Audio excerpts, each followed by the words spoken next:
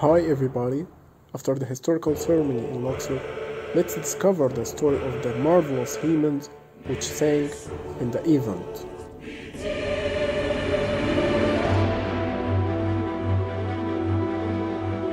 Dr. Maisara, the professor of the antiquary at the Faculty of Antiquary, Cairo University, explained that all the hymns used in the event is taken from songs already written on the wall of ancient Egyptian temples, which are closely related to the Opet Day, the most famous holiday in ancient Egypt.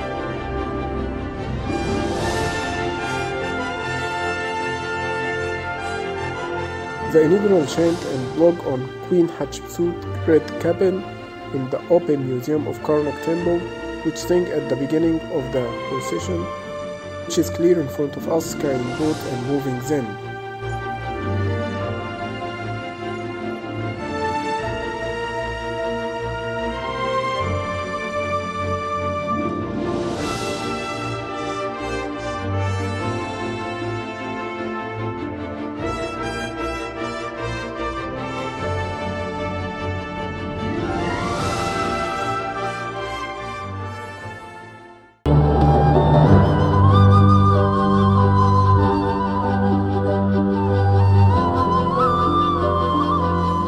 Song of the coronation of Queen Hatshepsut in the red compartment contained dancing and bathing from the holy lake, which actually happened at the ceremony where the dancers were dancing on a stage built in the holy lake 5 centimeters below the surface of the water.